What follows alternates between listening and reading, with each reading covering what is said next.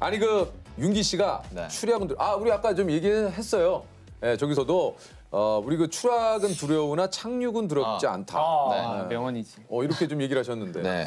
그 말하는 전성기가 지나와서 이제 본인이 그 전에 할 수 있었던 베뉴에서 공연을 못 하게 되고 이런 것들을 워낙 많이 봤으니까 그런 것들로 인해서 사람들한테 비난을 받고 또 조롱을 받으면서 일을 계속 할 바에야 그냥 그만둘 수 있을 때 그만두는 게 어, 훨씬 낫겠구나라는 생각을 굉장히 많이 어릴 때부터 했었던 것 같아요.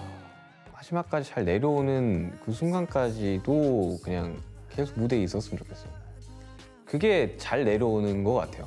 예전에는 막 원래, 막 5만, 5만 명 사이즈에서 하다가 갑자기 만 명으로 가고 5천 명으로 가고 2천 명으로 가고 이러면 너무 우리들이 그걸 견딜 수 있을까? 우리가 슬프지 않을까라는 생각했는데 남아 계신 분들을 위한 저희들의 그 착륙이지 않을까라는 생각이 참 들더라고요.